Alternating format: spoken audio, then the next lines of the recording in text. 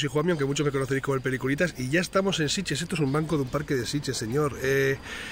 eh, muchas gracias a todos por el feedback. Lo primero, antes de empezar a hablar de Sitches y de lo bien que se está aquí, eh, lo primero, muchas gracias a todos por el feedback, porque la verdad que yo hago vídeos y yo no sé si lo ven 10 personas o 20 personas o los que lo vean,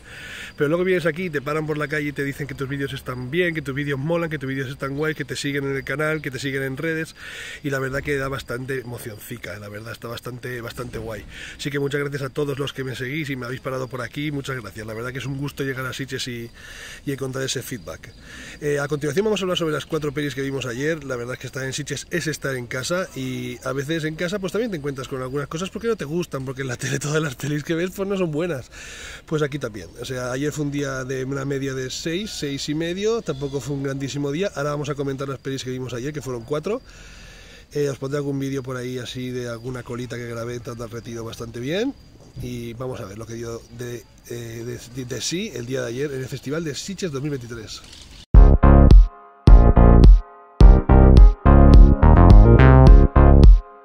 La primera peli que vimos nada más llegar fue Moon Garden, eh, una película sobre una niña que tiene, eh, se queda en coma y tiene que sobrevivir dentro de su propia cabeza, digamos, tiene que sobrevivir, tiene que salir del coma.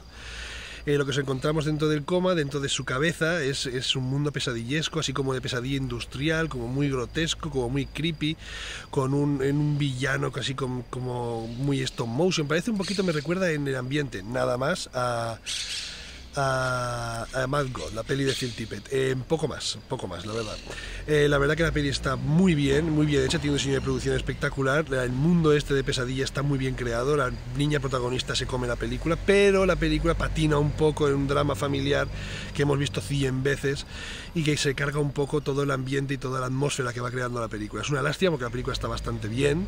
está muy bien hecha, está muy bien construida, y, pero es una lástima que se que estropee, que se estropee, que patine justo donde no debería patinar, en, en, lastrar la película con un drama familiar lleno de clichés, tira de todos los clichés de drama familiar, de padres que discuten, de la niña traumatizada, o sea, es una lástima, la verdad. La verdad que la película que parecía que iba a ser un bombazo, al final se queda descafeinada precisamente por eso, porque des desperdicia un poquito la idea de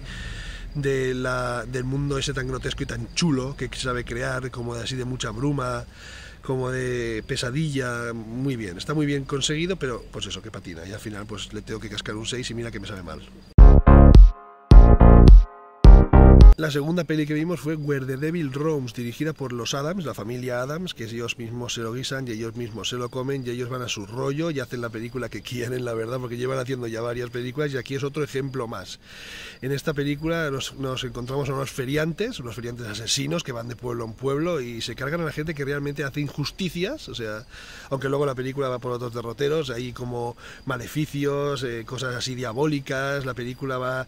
cambiando la textura, juega muy bien con las texturas juega muy bien con el diseño, un diseño de producción así, hecho con cuatro duros, pero muy bien, muy bien llevado, la verdad. Tiene un, el tono feriante es muy carnivale, no sé si es de carnivale, una serie que hacía en HBO que estaba muy, muy, muy chula pues eso, ese tono eh, está muy bien llevado y tal, pero luego eh, la película va por otros derroteros, va por otros derroteros más sangrientos, va por otros derroteros más bestias, eh, más eh, tirando por otros tonos que no voy a decir, la fotografía se va ennegreciendo, se va ensuciando, eso me gustó un montón, a mí la película me ha parecido magnífica, a mí la película me ha encantado, además creo que estoy solo en todo el pueblo en decir que esta película me ha encantado, pero es que los Adams y el rollito de sus películas a mí me gusta un montón, la verdad, y me la he gozado un montón, a esta Where Devil Roams le voy a cascar un 8 así para empezar.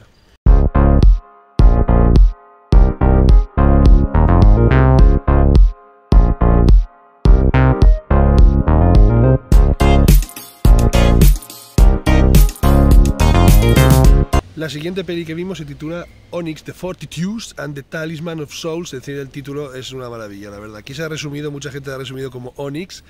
es la historia de un chico que es eh, una especie como de aficionado a las artes oscuras, eh, obsesionado con un, un señor eh, que es muy como un experto demoníaco, que organiza una sesión de espiritismo para invocar a un demonio maligno en su casa, tal y cual. Él participa y gana y, y eso, y a partir de ahí pues tienen que hacer unos, unas, unas sesiones sesiones de espiritismo, uno invocar al demonio, un demonio muy fuerte, tal y cual y pascual. Eh, la película Locos se me ha los la película es muy divertida, la película tiene momentos muy divertidos, pero en mi opinión se la carga eh, su, el, hombre que la gestó, que es Andrew Bowser. Andrew Bowser eh, adapta largo su personaje de YouTube, ese personaje de Onyx de Fortitude. Aquí es, digamos, como supuesta de largo en película y se la carga un poquito. Aquí vienen dos señoras hablando, pero bueno, espero que no me molesten mucho. el caso es eso, que la película, que podía estar muy bien, que tiene elementos muy chulos, sea Jeffrey Combs, prota de Reanimator, o sea, de Barbara Crampton, también de la, la de Reanimator, tiene unos efectos prácticos muy chulos, maquillaje chulísimo, unos efectos que están muy, muy, muy bien, que recuerdan a las pelis de los 80 un argumento como de dragones y mazmorras, como un juego de rol muy chulo, o sea, todo está muy bien, pero se la carga el propio Andrew Bowser que es mucho menos gracioso de lo que se cree y a mí eso me frustra y me pone nerviosísimo. Pues una película que apuntaba maneras se queda muy, muy, muy, muy descafeinada, precisamente por eso, porque se la carga su propio gestante y eso me cabrea muchísimo. Y encima el chico viene a presentar la película y le hubiera dicho, no eres tan gracioso, chaval. Pues eso, una película que podía haber sido muchísimo mejor.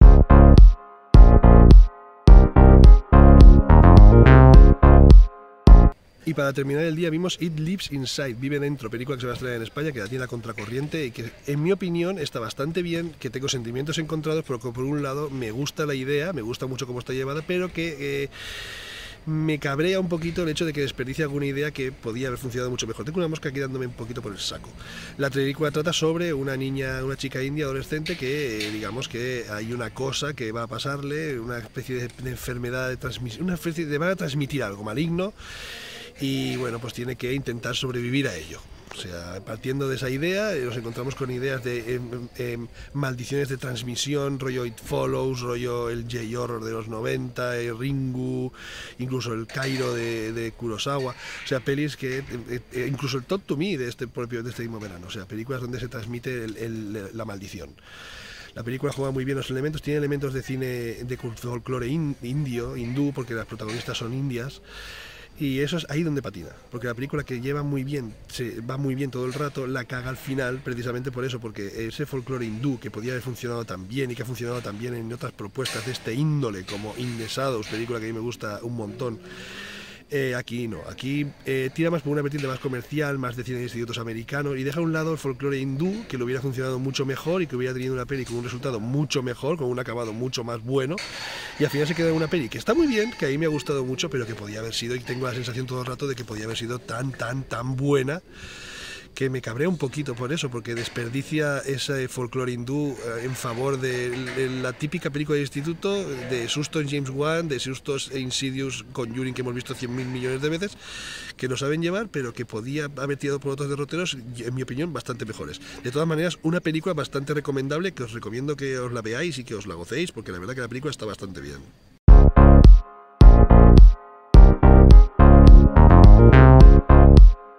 Bueno, y con estas cuatro pelis, que no son pocas para el primer día en Siches, joder, la mosca de las narices, pues que no son pocas para el primer día en Siches, pues termino por hoy, me fui a acostar, me dormí, son las 10 y algo de la mañana y ya estoy aquí grabando vídeos porque hoy tengo dos pelis tochísimas, hoy es domingo 8 de octubre, estoy muy contento porque voy a ver la nueva de Pablo Berger, Robot Dreams, y por supuesto voy a ver la nueva de Miyazaki, El Chico y la Garza, y estoy emocionado, porque es que aquí en Siches la gente está emocionada, y esto se respira cine por las calles. Así que nos vemos en el siguiente vídeo, que ha sido un placer eh, hablar de estas pelis, de llegar a Siches, de ver a toda la gente que estoy viendo y saludando y pasándomelo también y que nos vemos en el siguiente vídeo, lo dicho.